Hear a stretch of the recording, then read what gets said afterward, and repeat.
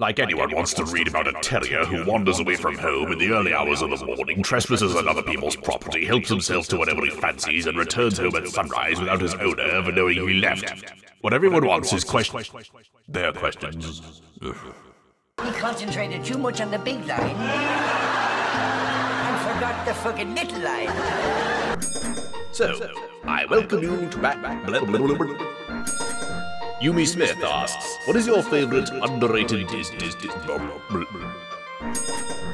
I also like to play miniature billiards on a pil- blah, blah, blah. and kill Pinkie Pie. I actually threw myself off balance doing that. No standard against local. Samantha Powell asks, "Will you try and incorporate the?" I'll wager you're familiar with our part. Get this. Gabby offered to split her mail carrying wages with. Shit.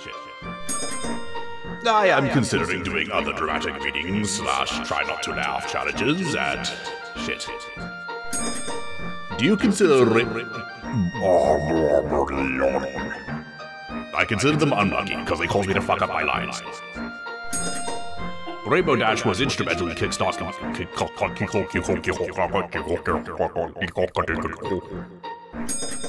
Mind you, I won't have to once I'm freed and I'm able to visit Pi- Pi's Fin's activities.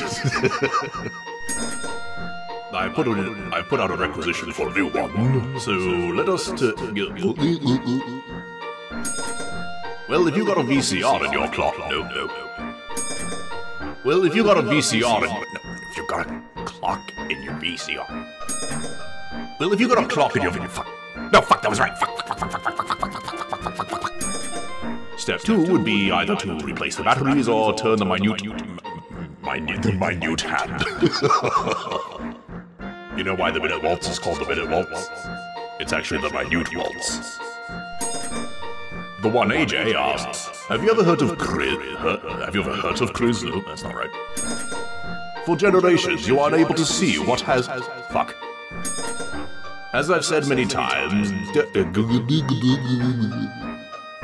as usual on these occasions when I have said this, nobody pays any attention to me.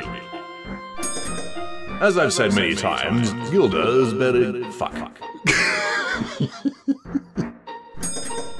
Uh, uh, oh, my fucking stomach decides to fucking join in now.